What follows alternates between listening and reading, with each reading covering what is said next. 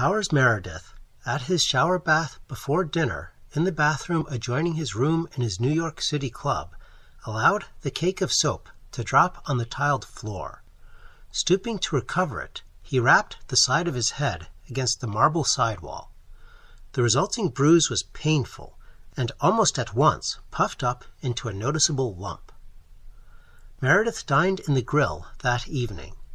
Having no after dinner engagement, he went into the quiet library of the club, empty at this hour, and settled himself with a new book beside a softly shaded reading lamp. From time to time, a slight inadvertent pressure of his head against the chair's leather upholstered back would remind him unpleasantly of his accident in the shower bath. This, after it happened several times, became an annoyance, and Meredith shifted himself into a preventative attitude with his legs draped over one of the chair's rounded arms. No one else came into the library. Faint clicking noises came in from the nearby billiard room, where a couple of men were playing, but, absorbed in his book, he did not notice these. The only perceptible sound was that of the gentle, steady rain outside. This, in the form of a soothing continuous murmur, came through the partly opened high windows. He read on. Precisely as he turned over the ninety sixth page of his book, he heard a dull sound, like a very large explosion, coming from a vast distance. Alert now, his finger holding his place in the book, he listened. Then he heard a rumbling roar, as though countless tons of wrecked masonry were falling. Falling. Clearly, unmistakably, the remote thunder of some catastrophic ruin. He dropped his book and, obeying an almost automatic impulse, started for the door. He met nobody as he rushed down the stairs. At the coach room, which he had to pass on his way to the doorway, two fellow members were chatting easily as they took their checks. Meredith glanced at them, surprised. He rushed on to the doorway and out into the street, where he paused. An empty street. The rain, reduced now to a mere drizzle, made the asphalt shimmer in the streetlights. Over towards Broadway, certainly, there must be clamor. But when he reached it, he found only the compound eleven o'clock bedlam of Times Square. Along Sixth Avenue, countless taxicabs weaved in a many-hued stream, jockeying for position in the maelstrom of the night traffic about the Hippodrome. On the corner, a solitary rubber-coated policeman swung long, efficient arms like a pair of mechanical semaphores, and skillfully directed the crawling traffic. To his ever increasing wonderment, everything seemed normal. But what, then, had been that catastrophic sound? Returning to the club entrance, he hesitated, a frown creasing his brow. He mounted the three steps hesitatingly and entered, pausing at the doorman's desk. Send me up an extra, please, if one comes out, he told the clerk. Then he went up to his bedroom, completely puzzled. Half an hour later, as he lay in bed, wakeful and trying to compose in his thoughts the varying, incongruous aspect of this strange affair, he was all at once acutely conscious of a distant, thin, confused, roaring hum. The most prominent element in this sound was the deep, soft, an insistently penetrating blending of countless voices. Through it ran a kind of dominant note, a note of horror. The sound chilled his blood. It was eerie.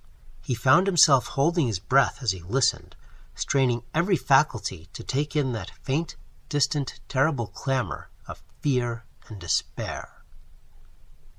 Of just when he fell asleep, he had no recollection, but when he awakened the next morning, there hung over his mind a shadow of remembered horror, not wholly dissipated until he had bathed and begun to dress. He heard none of the sounds at the time of his awakening. No extra lay outside his bedroom door, and a little later at breakfast he opened expectantly and scanned several newspapers vainly, and with a mounting sense of wonderment, for any account of a catastrophe which could have caused the sounds.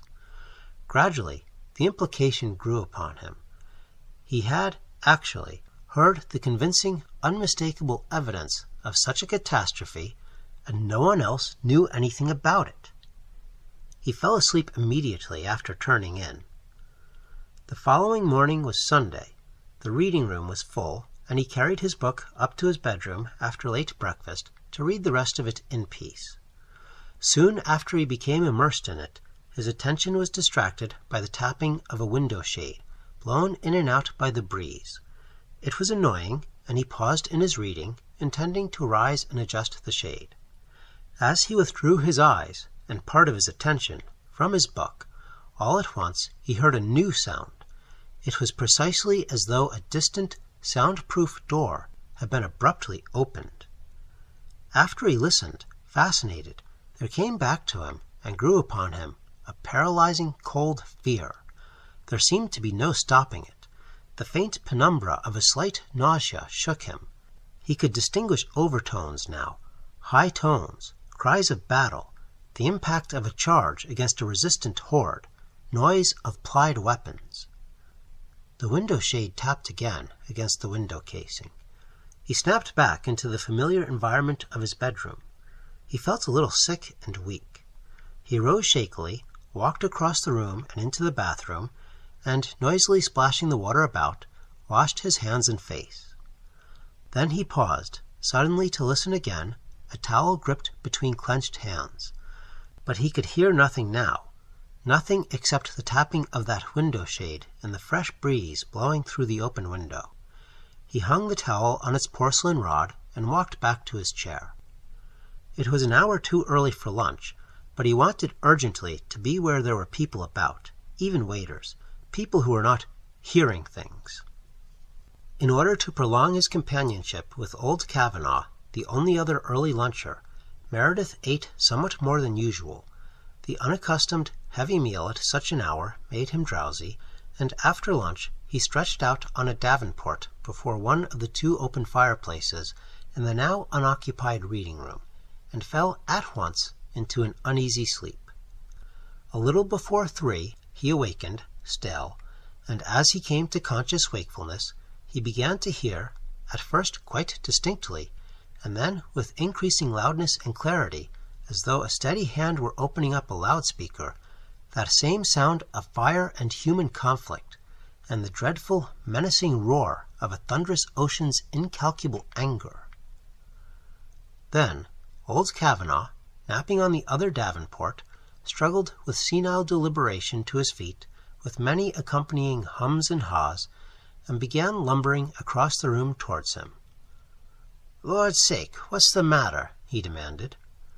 Kindly goodwill looked out of the man's distorted countenance.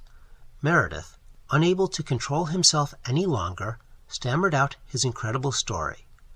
"Hmm, strange was the old man's comment when Meredith ended. He produced, lighted deliberately, and puffed upon, an enormous cigar. He seemed to cogitate as the two sat side by side in a pregnant silence of many minutes. At last he spoke. "You're upset, my boy, naturally, but you can hear everything that's going on around you, can't you? Your actual hearing's all right, then. Hmm. This other hearing starts up and goes on only when everything's perfectly quiet. First time you were here reading, second time in bed, third time reading again. This time, if I wasn't snoring, you were in perfect quiet once more. Let's test that out now. Keep perfectly still, and I'll do the same. Let's see if you hear anything. They fell silent once more, and for a while Meredith could hear nothing of the strange sounds. Then, as the silence deepened, once again came that complex of sounds indicating devastating battle, murder, and sudden death. He nodded silently at Kavanagh, and at the old man's acquiescent murmur the sounds ceased abruptly. It took urging before Meredith could be persuaded to consult an aurist. Medical men, Kavanagh reminded him, would keep quiet about anything strange or embarrassing. Professional ethics. They went uptown together that afternoon to Dr. Gatefield, a noted specialist. The doctor heard the story with close-lipped professional attention. Then he tested Meredith's hearing with various delicate instruments. Finally, he gave an opinion. We are familiar with various ear noises, Mr. Meredith.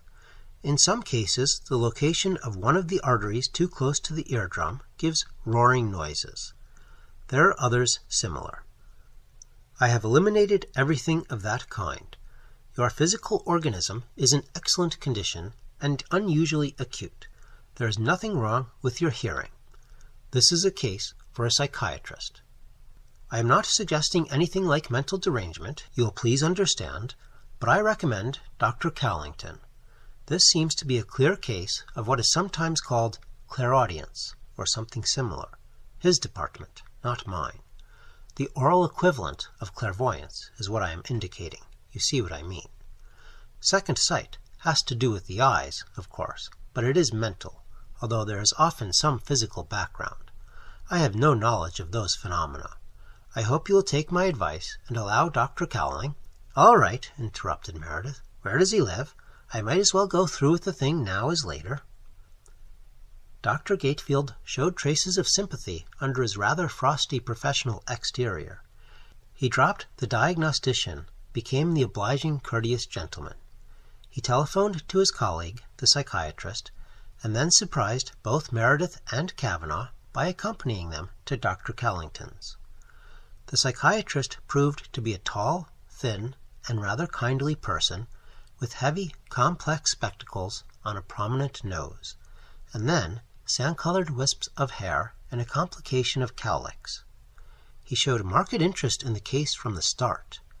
After hearing Meredith's story and the aurist's report, he subjected Meredith to an examination of more than an hour, from which, feeling more or less as though he had been dissected, he nevertheless derived a considerable sense of relief. It was decided that Meredith should arrange at once to take several days off, come to Dr. Cowlington's house, and remain under observation. He arrived at the doctor's the next morning and was given a pleasant upstairs room, with many books and a comfortable davenport on which, in a recumbent position, the psychiatrist suggested he should spend most of his waking hours reading. During Monday and Tuesday, Meredith, now after Dr. Cowlington's skilful reassurances, no longer upset at hearing the strange sounds, listened carefully for whatever might reach him from what seemed like another and very restless world.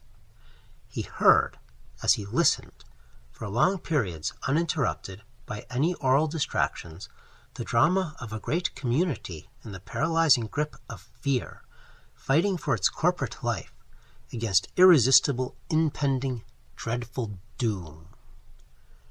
He began about this time, at Dr. Cowlington's suggestion, to write down some of the syllabification of the cries and shouts as well as he could manage it, on a purely phonetic basis. The sounds corresponded to no language known to him. The words and phrases were blurred and marred by the continuous uproar of the fury of waters. This was invariably, and continued to be, the sustained distinctive background for every sound he heard during the periods while he remained passive and quiet. The various words and phrases were entirely unintelligible. His notes looked like nothing which either he or Cowlington could relate to any modern or ancient tongue. When read aloud, they made nothing but gibberish. These strange terms were studied over very carefully by Dr. Cowlington, by Meredith himself, and by no less than three professors of archaeology and comparative philology, one of whom, the archaeologist, was a friend of Cowlington's, and the other two called in by him. All of these experts on ancient and obsolete languages listened with the greatest courtesy to Meredith's attempt to explain the apparent setting of the sounds. Most of them were in the nature of battle, cries and what Meredith took to be fragments of desperately uttered prayer, some of the material having come to him in the form of uncouth, raucous howls, and with the greatest interest in his attempt at reproducing them orally. They studied his written notes with the most meticulous care. The verdict was unanimous, even emphatic on the part of the younger and more dogmatic philologist. These sounds were quite utterly at variance with any known speech, including Sanskrit, Indo-Iranian, and even the conjectural Akkadian and Sumerian spoken tongues. The transcribed syllables corresponded to nothing in any known language, ancient or modern. Emphatically, they were not Japanese. The three professors took their departure, and Meredith and the psychiatrist Dr. Cowlington went over the list again. Meredith had written I, I, I, I, Relier, Ayanya, Ayanya, Zo, Zoana. There was only one grouping of the words which formed anything like a section of continuous speech, or sentence, and which Meredith had been able to capture more or less intact and write down. Yoth, Yoth, Naktal O, Doyan Kothuthut. There were many other cries, and, as he believed, desperately uttered prayers, quite as strange and off the beaten tracks of recognized human speech as those noted down. It was quite possibly because of his concentration on this affair of the remembered words, his own interest in them being naturally enhanced by Dr. Cowlington's and that of the three experts, that Meredith's dream state impressions just at this time and suddenly became markedly acute. These dreams had been continuous and consecutive since their beginning several nights before, but on this night, after the rather elaborate investigation of the words and syllables, Meredith began in earnest to get the affair of his environment in the strange city of the flames and conflicts and confusion and of a roaring ocean cleared up with a startling abruptness. His dream impression that night was so utterly vivid, so acutely identical with the terms of the waking state, that he couldn't tell the difference between his dream slumber and wakeful consciousness. Everything that he had derived mentally out of that night's sleep was clearly and definitely present in his mind. It seemed to him precisely as though he had not been asleep, that he had not emerged from an ordinary night's rest into the accustomed circumstances of an early morning's awakening. It was, rather, as though he had very abruptly passed out of one quite definite life into another, as though, as it came to him afterwards, he had walked out of a theatre into the wholly unrelated after theatre life of Times Square. One of the radical phases of this situation was not only that the succession of dream experiences had been continuous, with time, allowances for the intervening periods of those days in between which he had spent here in Dr. Cowlington's quiet house. Not only that, extraordinary as this realization seemed to him, the nearly consecutive dream experiences had been the events of the past few days in a life of thirty two years spent in that same environment and civilization of which the cataclysmic conditions which he had been envisaging appeared to presage a direful end. He was, to set out plainly what he had brought out of that last night's dream experience, one Bothon, general of the military forces of the great district of Ludekta, the southwesterly provincial division of the continent of Atlantis, which had been colonized as every Atlantean schoolchild was well aware, some eighteen hundred years before by a series of emigrations from the mother continent. The Naacal language, with minor variations not unlike the differences between American speech and English English, was the common language of both continents. From his native Ludekta, the General Bothon had made several voyages to the motherland. The first of these had been to Ghua, the Central Eastern Province, a kind of grand tour made just after his finishing, at the age of twenty two, his professional course in the Ludekta College of Military Training. He was thus familiar by experience, as were many other cultivated Atlanteans of the upper classes, with the very highly developed civilization of the mother continent. These cultural contacts had been aided by a second visit, and further enhanced not long before the present period of the dream experiences, when, at the age of thirty one, Bothon, already of the rank of general, had been sent out as ambassador to Aglad-Dho, joint capital of the confederated southeastern provinces of Yish, Knan, and Buathon, one of the most strategic diplomatic posts and the second most important provincial confederation of the mother continent. He had served in his ambassadorial capacity for only four months, and then had been abruptly recalled without explanation. But, as he had soon discovered upon his arrival home, because of the privately communicated request of the Emperor himself, his diplomatic superiors at home offered him no censure. Such imperial requests were not unknown. These gentlemen were, actually, quite unaware of the reasons behind the imperial request. No explanations had been given them, but there had been no imperial censure of any kind. But the general, Bothon, knew the reasons very well, although he kept them strictly to himself. There was, indeed, only one reason, as he was acutely and very well aware. The requirements of his office had taken him rather frequently to Alu, the continental capital, metropolis of the civilized world. Here in the great city of Alu were assembled from all known parts of the terrestrial globe the world's diplomats, artists, philosophers, traders, and shipmasters.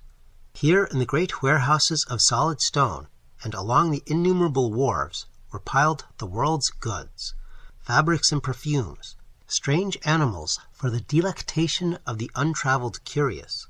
Here in the endless stalls and markets were dyed stuffs and silks, tubas and cymbals, and musical rattles and lyres, choice woods and implements for the toilet, strigils and curiously carved hand-fitting little blocks of soapstone, and oils innumerable for the freshening of beards and the anointing of bodies. Here were tunics and sandals and belts and thongs of soft-tanned, various perfumed leathers.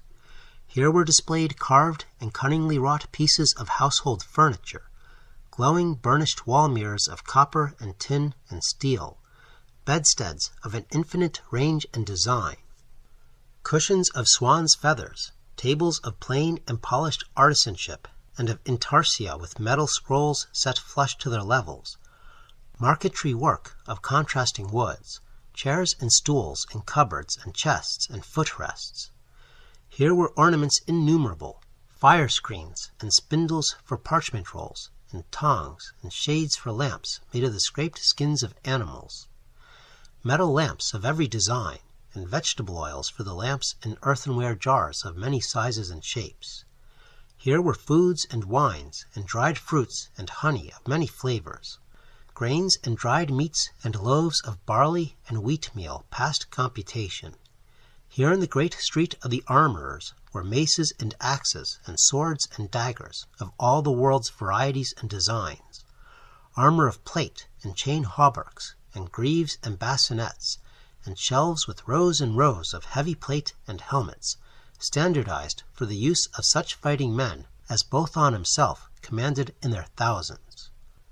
Here were to be seen and examined costly canopies and the elaborate litters in which the slaves of the rich carried their masters through the narrow streets and broad airy avenues of Alu.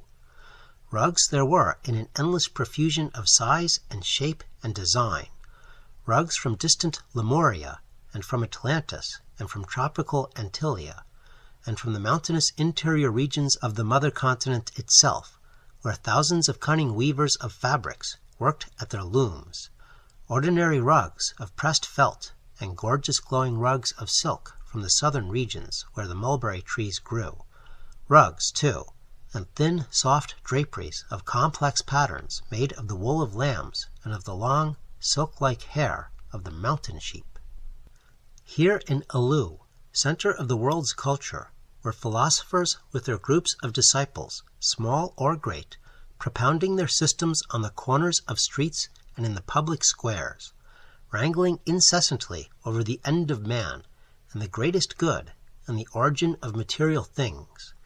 Here were vast libraries containing the essence of all that had been written down concerning science and religion and engineering and the innumerable fine arts of the civilization of 40,000 years. Here were the temples of religion, where the hierarchs propounded the principles of life, colleges of priests studying incessantly more and more deeply into the mysteries of the four principles, teaching the people the endless applications of these esoteric affairs to their conduct and daily lives. Into this fascinating treasure house of a great civilization, the ambassador Bothon had penetrated as often as possible. the excellence of his family background, his own character and personal qualities, and his official position all combined to make him a welcome guest in the mansions of the members of the emperor's court and of the highest stratum of social life in Alu. An impressionable young man, most of whose life previous to his appointment as ambassador had been spent in training hard for his military duties, and in the rigorous prosecution of these as he rose rapidly grade by grade by hard man's work in camp and field during his many campaigns in the standing army of Ludekta, the general, Bothon, reveled in these many high social contacts. Very soon he found within himself, and growing apace, the strong and indeed natural desire for a type of life to which his background and achievements had amply entitled him, but of which he had been, so far, deprived because of the well nigh incessant demands upon him of his almost continuous military service. In short, the ambassador from Ludekta very greatly came to desire marriage with some lady of his own caste, and, preferably, of this metropolitan city of Alu, with its sophistication and wide culture, a lady who might preside graciously over his ambassadorial establishment, who, when his term of office was concluded, would return with him to his native Ludekta in Atlantis, there permanently to grace the fine residence he had in his mind's eye when, a little later, he should retire from the Ludektan army and settle down as a senator into the type of life which he envisaged for his middle years. He had been both fortunate and unfortunate in his actual falling in love. The lady who reciprocated his ardent advances was the Netvissa Ledda, daughter of the Netvis Toldon, who was the emperor's brother. The fortunate aspect of this intense and sudden love affair, which set all social Alu to commenting upon it, was the altogether human one of a virtually perfect compatibility between the two. Their initial mutual attraction had become a settled regard for each other almost overnight. Within a few days thereafter they were very deeply in love. Humanly considered, the affair was perfection itself. Every circumstance, save one, and that a merely artificial side of the case, gave promise of an ideal union. The single difficulty in the way of this marriage was, however, most unfortunately, an insuperable one. The Netvissa Ledda, niece of the emperor, belonged of right to the very highest social caste of the empire. The rank and degree of Netvis lay next to royalty itself, and in the case of the family of the Netvis Toldon, partook of royalty. Against this fact, basic in the structure of the empire's long established custom, the ambassador, General Bothon of Ludekta, although a gentleman of the very highest attainments, character, and worth, whose family record reached back a thousand years into the dim past before the colonization of Atlantis, whose reputation was second to none in the empire, the general, Bothon, was a commoner. As such, according to the rigid system prevalent at the court of Alu, capital of the empire, he was hopelessly ineligible. The marriage was simply out of the question. The emperor, being called upon to settle this awkward affair, acted summarily, quite in the spirit of one who destroys a hopelessly wounded and suffering creature as an act of mercy.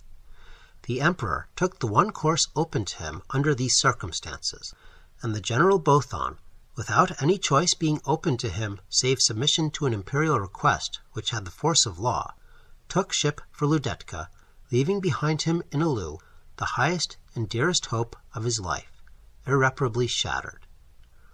For the subsequent conduct of the General Bothon, recently Ludektan ambassador to Aglad-Dho, there were three very definite contributing reasons. Of these, the first and most prominent was the depth and intensity and genuineness of his love for the Netvissa Ledda. Beyond all possible things, he wanted her, and the proud soul of Bothon was very grievously racked and torn at the sudden, unexpected, and arbitrary separation from her which the imperial request had brought about. The voyage from Aglad-Dho to Ludekta across two sections of the globe's great oceans and through the ship canals and lakes which bisected the southern continent of the western hemisphere, occupied seven weeks. During this period of enforced inaction, the bitter chagrin and deep disappointment of Bothon crystallized itself by means of the sustained reflection inevitable under the circumstances. General Bothon arrived in Ludekta in a state of mind which made him ready for anything, provided only it was action. This state of mind was the second of these contributory factors. The third was the immediate satisfaction of his desire for activity. During the course of his voyage home, the ghoulish and indeed subhuman factory slaves, the shockingly simian Gyaa-Hau, had inaugurated a revolt. This had spread, by the time of Bothon's arrival, throughout the entire province of Ludekta. The state sorely needed the efficient services of this the youngest and most brilliant of its generals, and his reception on landing was more nearly that of a savior of his country than what a virtually disgraced diplomat might expect. Into this campaign, which he prosecuted with the utmost vigor and a thoroughgoing military effectiveness, Bothon threw himself with an abounding energy which even his most ardent Ludektan admirers had not anticipated. At the end of an intensive campaign of less than three weeks, with this very dangerous revolt completely crushed and the leaders of the Gyaa-Hau hanging to a man by great hooks through their neck muscles in dreadful rows along the outer city walls on either side of the great archway that pierced the defense of Ludekta's capital, the General Bothon found himself the hero of Ludekta and the idol of his admiring troops. A rigid disciplinarian, the attitude of the officers and men of the Ludektan standing army towards this general had hitherto been based upon the respect which his great abilities had always commanded. Now he found himself the recipient of something almost like worship because of this last brilliant campaign of his. It had been a tour de force. Although it is highly probable that they would have advanced him because of this achievement in any event, the actual occasion for the action of the Ludektan Senate in rewarding Bothon the supreme command of the standing army was the speech before that body of the aging Generalissimo Tarba. Old Tarba ended his notable panegyric by laying his truncheon, emblem of the supreme command, on the great marble slab before the presiding senator, with a dramatic gesture. Bothon thus found himself suddenly possessed of that intensive hero worship which would cause the state to acquiesce in anything which its object might suggest. He was at the same time in supreme command of the largest sectional standing army of the entire continent of Atlantis, an army, thanks chiefly to his own efficiency, probably the best trained and most effective fighting unit then extant. Under the combined effect of the contributing causes and his new authority, General Bothon made up his mind. On the eleventh day after his triumphal entry into Ludekta's capital city, Forty-seven Ludektan war vessels, freshly outfitted, their oar slaves supplemented by reserve of the Gyaa-Hau, selected for the power and endurance of their gorilla-like bodies, with new skin sails throughout the fleet, and the flower of the Ludektan army on board, sailed out from Ludekta westward for Alu, under the command of General Bothon. It was precisely simultaneous with the arrival of this war fleet off the shores of the great city of Alu that there began unprecedented natural disturbances affecting the entire area of the mother continent. These were comparable to nothing recorded in the capital's carefully kept slate and parchment records, which went back over a period of thousands of years. The first presage of these impending calamities took the form of a coppery tinge which replaced the blue of the sky. Without any warning, the long ground swell of this western ocean changed abruptly, along with the color of the water, into a kind of dull brick gray, to short, choppy, spray capped waves. These tossed even the great Ludektan war galleys so violently as to shatter many of the sweeps. The wind, to the consternation of several of Bothon's captains, appeared to come from every quarter at once. It tore the heavy skin sails of the Ludektan galleys away from their copper rings and bolts in some cases. In others, it split the sails in clean straight lines, as though they had been slit with sharp knives. Undaunted by these manifestations, and the reports of his augurs who had cast their lots and slain their sheep and fowls in a hasty series of divinations to account, if possible, for this unfavorable reception at the hands of the elements, the indomitable will of Bothon forced his fleet to an orderly landing. He sent forthwith as his herald to the emperor himself his highest ranking sub general, accompanied by an imposing guard of honor. On slate tablets Bothon had set forth his demand in his own hand. This was in the form of a set of alternatives. The emperor was asked to receive him as generalissimo of the military forces of Ludekta, and to consent to his immediate marriage with the Netvissa Ledda, or he, Bothon, would proceed forthwith to the siege of Alu and take the lady of his heart by force and arms. The message prayed the emperor to elect the first alternative. It also set forth briefly and in formal heraldic terms the status of the ancient family of Bothon. The emperor had been very seriously annoyed at this challenge, as he chose to regard it. He felt that his office and dignity had been outraged. He crucified Bothon's entire delegation. The siege of Alu began forthwith under the menacing copper tinted sky and to the accompaniment of a rumbling series of little earthquakes. Not only not within the memory of living men, but, as the records indicated, during its entire history over thousands of years as the metropolis of the civilized world, had there been any previous hostile manifestations against the great city of Alu, that anything like this terrible campaign which the great renowned General Bothon of Ludekta set in motion against her might come to pass, had never even remotely occurred to anyone in Alu. So promptly did Bothon launch his attack that the tortured bodies of the members of his delegation to the emperor had not yet ceased writhing on the row of crosses before he had penetrated, at the head of his trained legionaries, to a point within two squares of the imperial palace, which stood at the center of the great city. There had been virtually no resistance. This intensive campaign would have been triumphantly concluded within twenty minutes. The emperor probably captured, along with all his palace guards and household, the person of the Lady Ledda secured by this ardent lover of hers, and the entire objective of the expedition accomplished, save for what in modern legal phraseology would have been described as an act of God. The premonitory earth shakings which had accompanied this armed invasion culminated, at that point in the advance of Bothon's army, in a terrific seismic cataclysm. The stone paved streets opened in great gaping fissures. Massive buildings crashed tumultuously all about and upon the triumphantly advancing Ludektans. The general, Bothon, at the head of his troops, dazed and deafened and hurled violently upon the ground, retained consciousness long enough to see three quarters of his devoted following engulfed, smashed, torn to fragments, crushed into unrecognizable heaps of bloody pulp, and this holocaust swiftly and mercifully obliterated from before his failing vision by the drifting dust from millions of tons of crumbled masonry. He awakened in the innermost keep of the dungeon in Alu's citadel.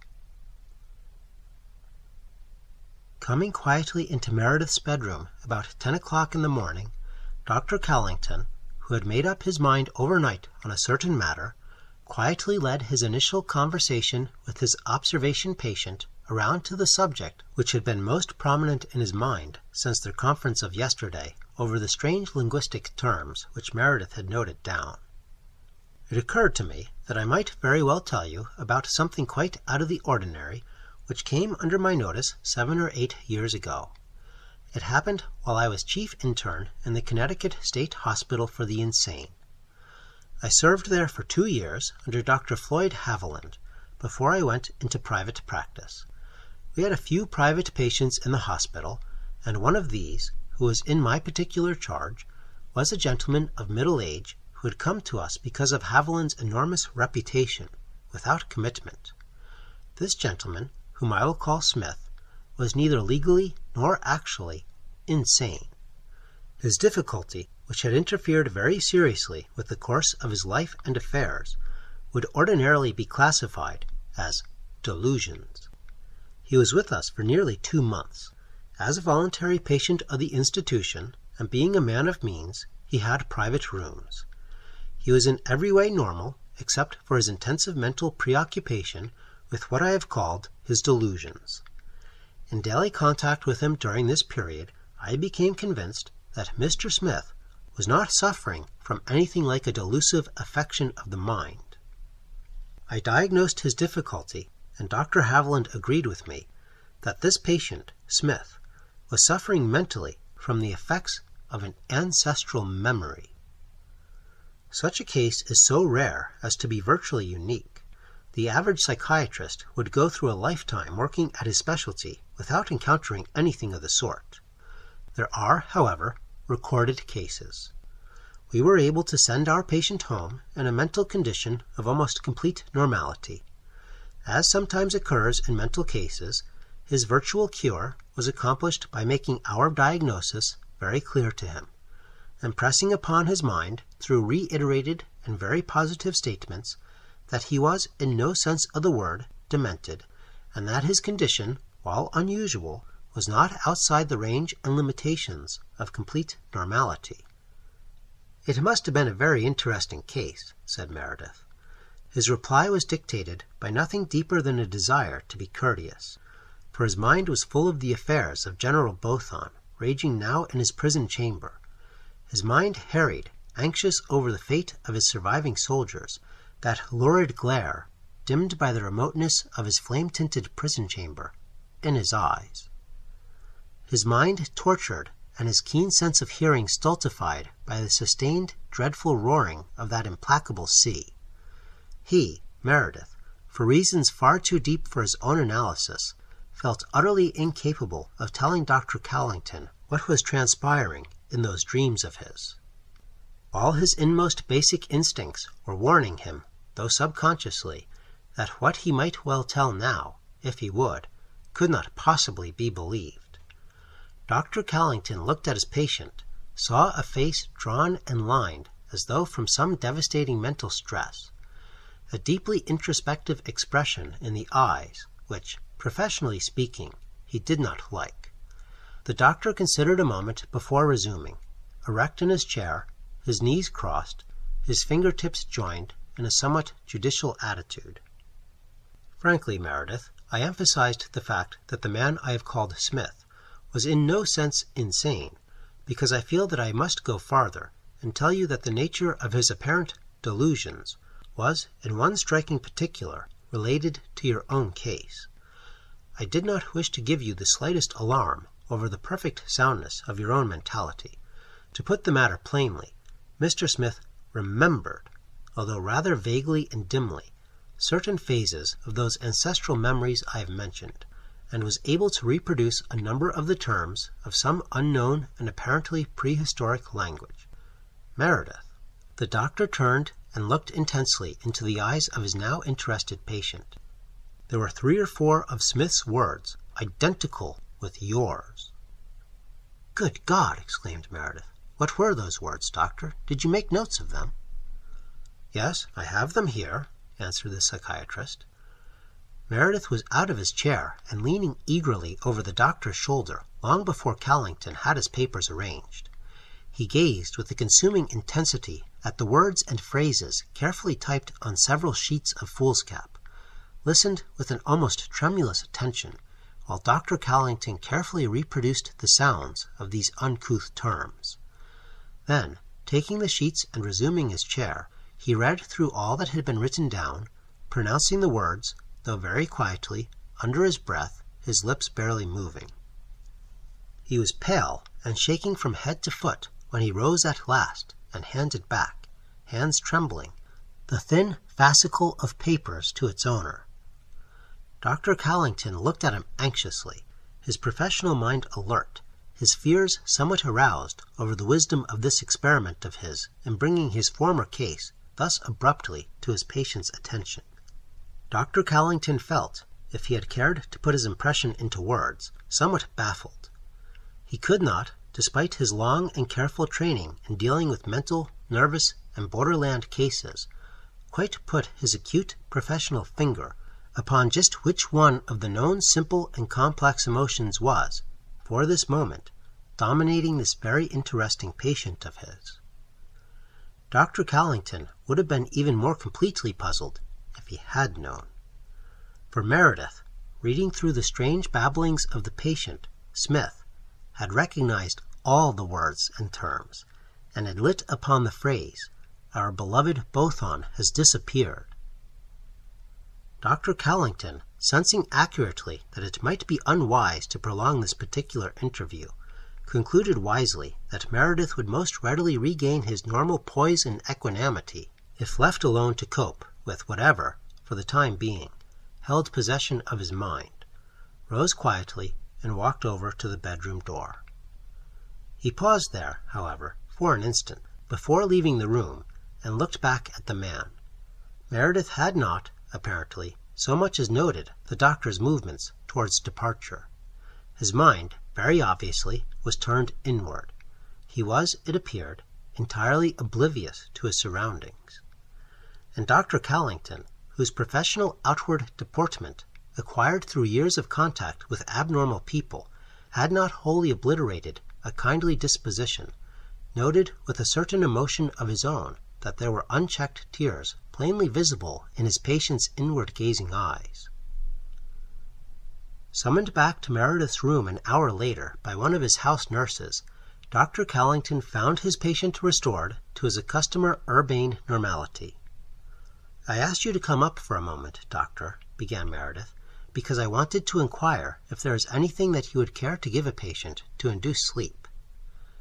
Then, with a deprecating smile, the only such things I know about are morphine and laudanum. I don't know very much about medicine, and naturally you wouldn't want to give me one of those any more than I would want to take it. Dr. Cowlington resumed his judicial manner. He thought rapidly about this unexpected request. He took into consideration how his story about the patient, Smith, had appeared to upset Meredith.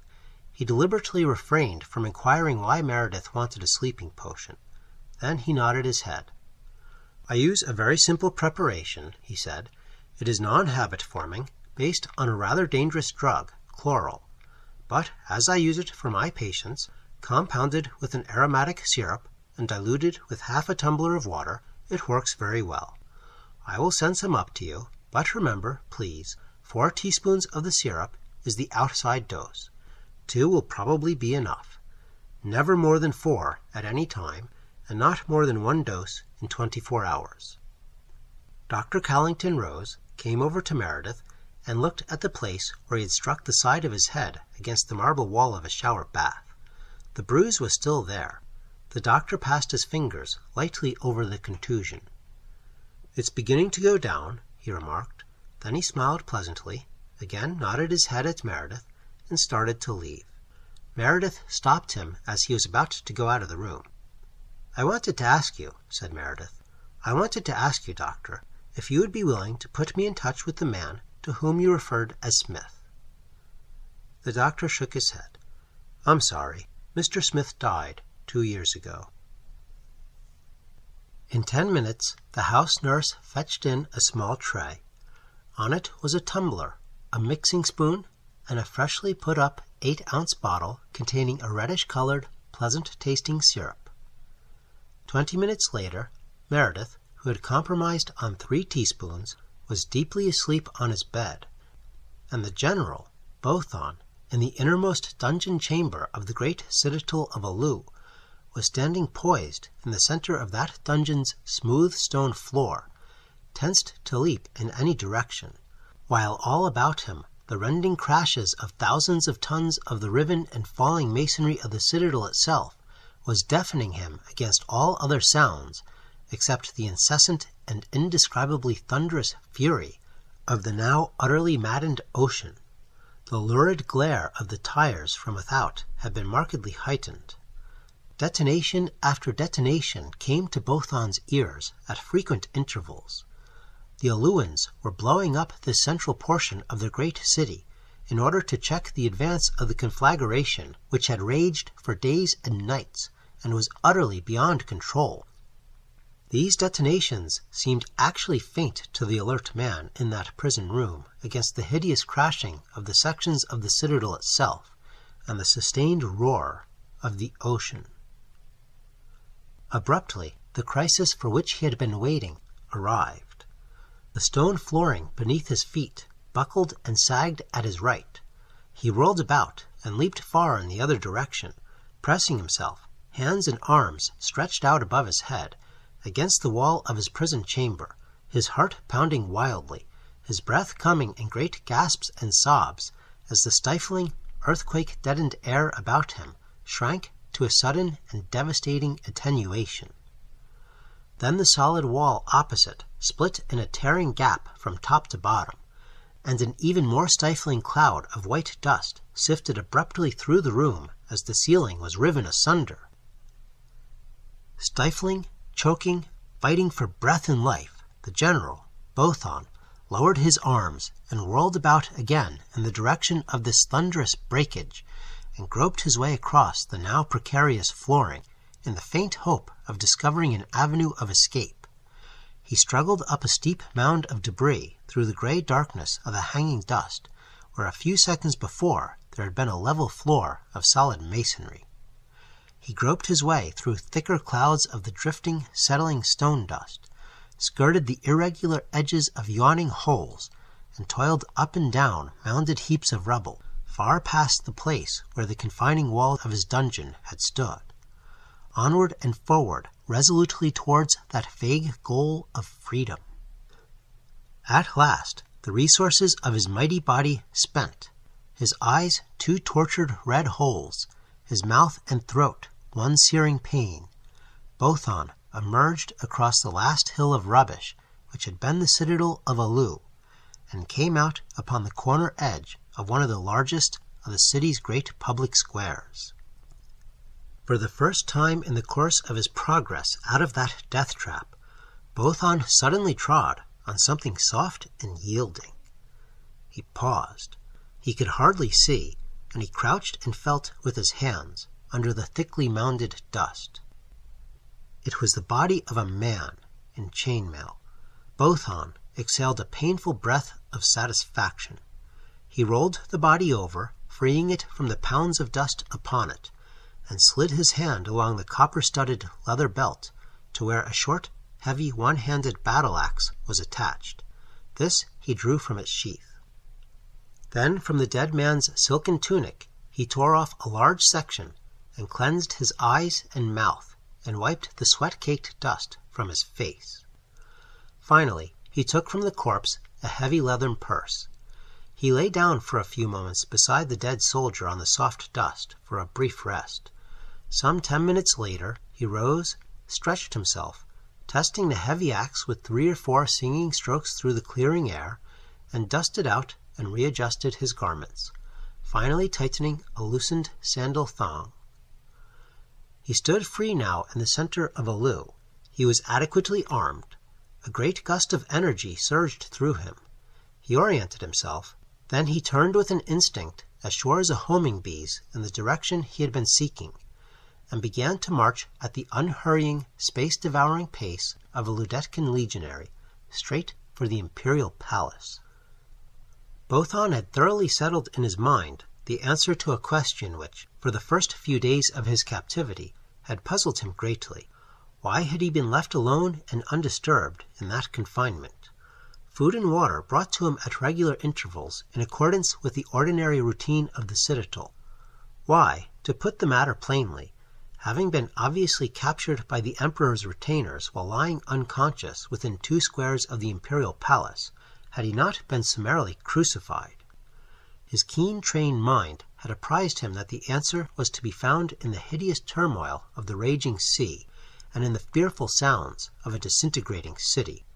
The emperor had been too greatly occupied by those cataclysms even to command the punishment of this leader of such an armed attack against the world's metropolis as had not been known in all the long history of the mother continent.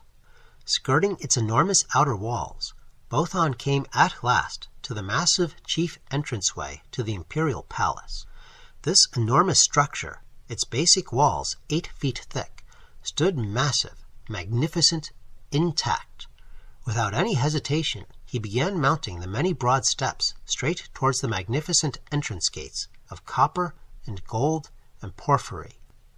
Before these gates, in the rigid line and under the command of an officer, beneath whose corslet appeared the pale blue tunic of the Emperor's household guards, stood a dozen fully armed soldiers. One of these, at a word from the officer, ran down the steps to turn back this intruder. Bothon slew him with a single crashing stroke and continued to mount the steps. At this, a shouted command of the officer sent the entire troop down the steps upon him in close order. Bothon paused, and waiting until the foremost was no more than a space of two of the broad steps above him, leaped lightly to his right. Then, as the foremost four of the soldiers passed beyond him under the impetus of their downward charge, Bothon as lightly leaped back again, his heavy axe falling upon the troop's flank with deadly, short, quick swinging blows. Before they could collect themselves, the officer and five of his men lay dead upon the steps. Leaving the demoralized remainder to gather themselves as best they might, Bothon leaped up the intervening steps and was through the great entrance doors, and, with a pair of lightning like right and left strokes of his axe, had disposed of the two men at arms stationed just inside the doorway. His way into the palace was now entirely unobstructed. Bothon sped through well remembered rooms and along broad corridors into the heart of the imperial palace of Alu. Within thirty seconds he had located the entrance to the brother of the emperor, Netvis Toldon's apartments, and had passed through the doorway he discovered the family reclining about the horseshoe shaped table in the refectory, for it was the hour of the evening meal. He paused in the doorway, was met with surprised glances, and bowed low to the Netvis Toldon. I beseech you to pardon this intrusion, my lord Netvis. It would be inexcusable under other circumstances, at a more favorable time. The nobleman returned no answer, only stared in surprise. Then the dear lady of his heart, the Netvissa Ledda, rose to her feet from her place at her father's table, her eyes wide with wonderment. A dawning realization of what this strange invasion might mean made her lovely face suddenly the hue of the Aluran roses. She looked at this heroically formed lover of hers, her soul in her eyes. Come, my lady Ledda, said Bothon quickly, and as lightly as a deer the Ledda ran to him. He took her arm, very quietly, and before the assembled members of the family of Toldon had recovered from their surprise, the two were hastening along the corridor towards the palace entrance. From around the first corner before them came the abrupt sounds of armed men. They paused, listening, and Bothon shifted his axe into his right hand and stepped before the Lady Ledda, but she laid firm hands upon his left arm. This way, swiftly she whispered, and led him down a narrow passageway at the wide corridor's left. This they traversed in haste, and had barely negotiated a sharp turn when they heard the guard troop rush along the main corridor and a voice commanding, To the apartment of my lord, the Netvis Toldon. The narrow passageway led them past cook rooms and scullery chambers, and ended at a small door which opened upon a narrow court. Rapidly traversing this, they emerged upon a square at the west side of the palace, and well before any pursuit could have traced their course, were indistinguishable among the vast concourse of the people who thronged the wide avenues of Alu. Bothon now resumed the direction of their course of escape. Leading the way across a larger adjacent square, he reached the secluded corner, mounded about with debris, where he had secured his weapon. It was not yet past the early dusk of a midsummer evening, and now there was nothing to interfere with his keen vision. Yes, it was as he had guessed from the quality of that torn fragment of silken tunic with which he had wiped his tortured eyes free of the stone dust. The dead man was an officer of one of the imperial legions. Seating the Lady Ledda upon a block of granite and requesting her to watch, Bothon knelt swiftly beside the dead body and busied himself upon it. At the end of two intensive minutes, the Ledda looked up at his touch upon her shoulder, to see her lover apparelled from head to foot in the uniform, armor, and accoutrements of an Elton of the Imperial Legion of the Hawk. Then they hurried southward, side by side, across the great square with its desolation of shattered buildings, towards one of the few remaining residences of the rich, before which four coal black slaves in the livery of their households were lowering an ornamental litter to the ground. From the luxurious vehicle, as they arrived beside it, there emerged a stout citizen who stared at them inquiringly, his initial fear disappearing at recognition of the Emperor's niece and the uniform of an imperial legion. "We request the loan of your litter, my lord," said Bothon. "Most willingly," returned the citizen, bowing. Bothon expressed thanks, handed his companion into the litter, distributed a handful of silver among the four slaves, and gave the destination to the negro, who stood beside the forward left-hand pole. Then he climbed in himself and drew the red silk curtains together. The strong litter poles strained and creaked as the load was hoisted to four brawny shoulders, and then the litter swung away from the residence of its still bowing and smirking owner towards the military enclosure which housed and guarded the flying vessels of the Alluvian standing army. You may have observed how very completely I have entrusted my imperial person to you, remarked the Netvissa smiling. She was very well aware of the reasons for the imperial request which had sent Bothon back to Ludekta and for the first armed invasion against the Alluvian metropolis. I have not so much as inquired as to our destination. It is my intention to seek safety to the northwest, answered Bothon gravely. I am convinced the prediction of Baal, Lord of Fields, as to the destruction of the mother continent, is not a mere classic to be learned, as we learned it in our childhood, as a formal exercise in rhetoric. Here, all about us, is the evidence. More, my four augurs warned me of the continent's danger ere I brought my war galleys up upon the beaches of Alu. The four great forces, they insisted, were in collusion to that end.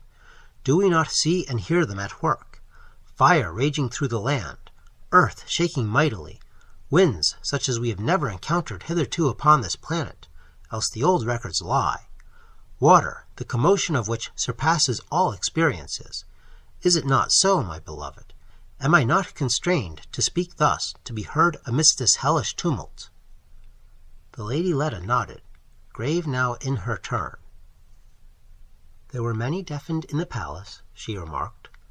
Where are we to go for refuge? We depart straight this night for the great mountains of A-Wah-Ii, answered Bothon. If so be the four great forces allow us possession of a war chariot. And, to that end, your ring, my beloved.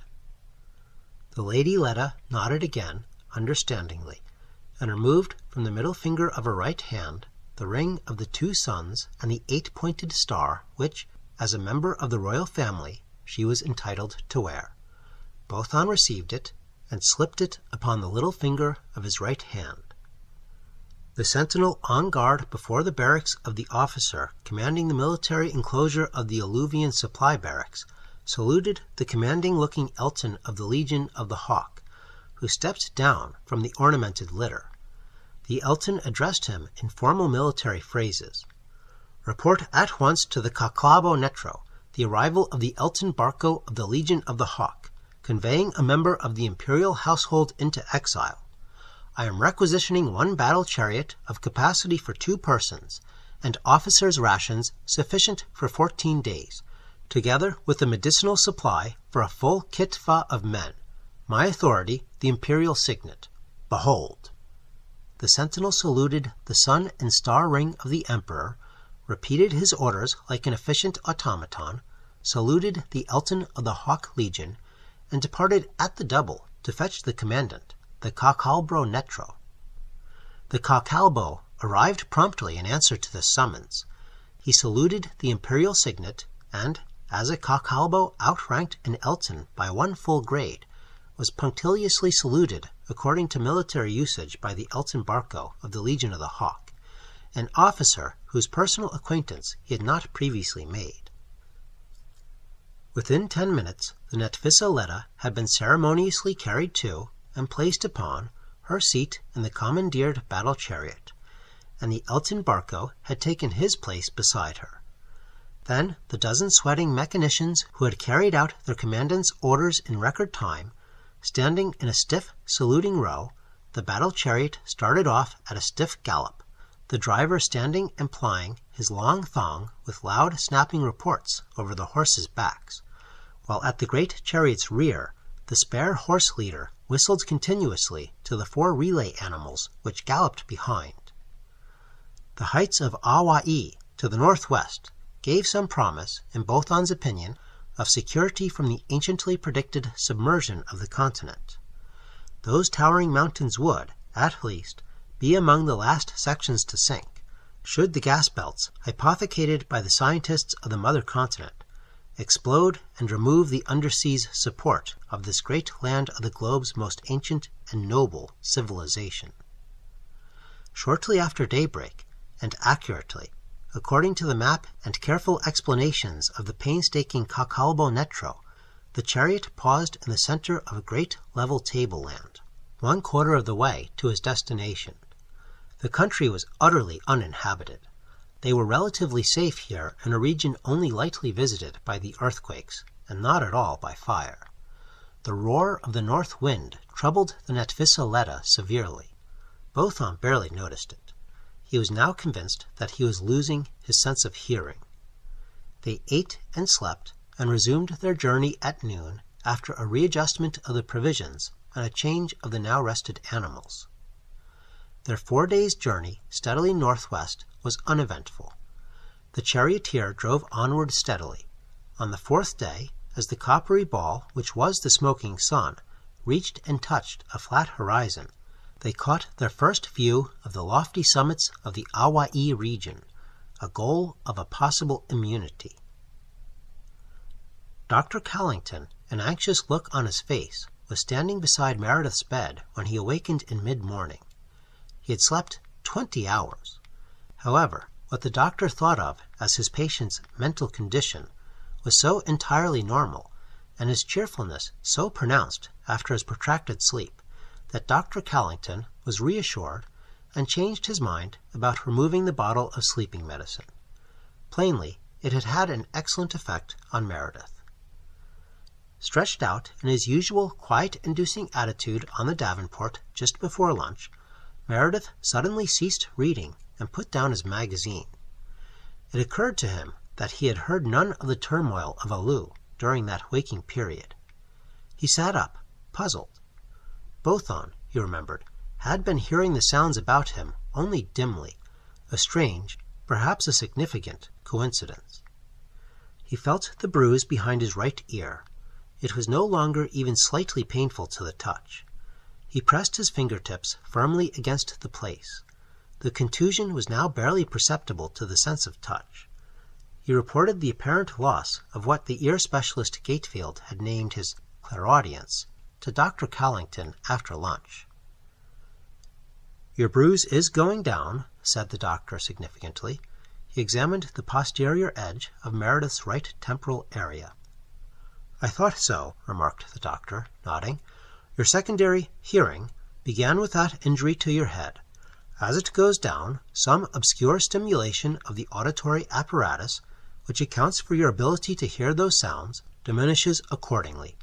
You could probably hear only some stupendous sound from there now, and in a day or so I predict that you will be hearing nothing more, and then you can go home. And within an hour came the stupendous sound in very truth. It broke in upon Meredith's quiet reading once more, as though someone had opened that soundproof door. A curious secondary mental vision accompanied it.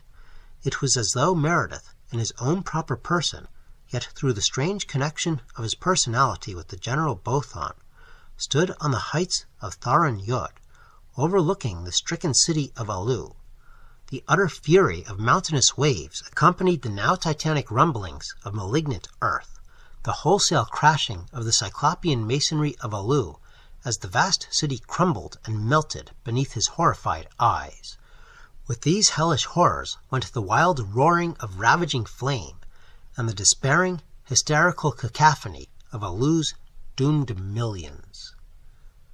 Then there came at last a sound as of the veritable yawning of the nethermost watery gulf of earth, and the high sun itself was blotted out by a monstrous green wall of advancing death.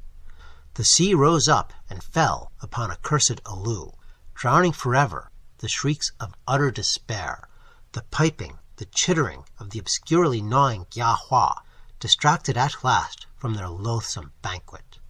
Hissings, roarings, shriekings, whinings, tearings, seethings, a cacophony more than human ears might bear, a sight of utter devastation more onerous than man might look upon and live. There came to Meredith a merciful stupor as the waters of Mu Iaden closed in forever over the mother continent, and as his consciousness failed him, he emerged once more out of that quiet bedroom away from his overlooking of the world's major catastrophe, and as Bothon walked beside the Lady Ledda along a wooded ravine in A-Wah-Ii, goal of safety, among laden fruit trees, yet not, it seemed, upon the towering heights of those noble mountains, but upon an island about the shores of which rolled and roared a brown and viscid ocean choked with the mud which had been the soil of the mother continent. We are safe here, it would appear, my Bothon, said Netvissa Ledda. Let us lie down and sleep, for I am very weary. And after watching for a little space while the Lady Ledda reclined and slept, Bothon lay down beside her and fell at once into the deep and dreamless slumber of utter physical exhaustion. Meredith awaked on his davenport. The room was dark, and when he had risen, switched on the lights, and looked at his watch. He found that it was four o'clock in the morning. He undressed and went to bed, and awakened three hours later without having dreamed.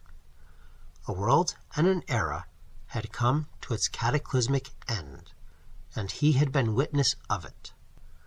The contusion on his head had disappeared, Dr. Cowlington observed later in the morning. I think you can go home now. You'll never hear again, said the doctor in his judicial manner.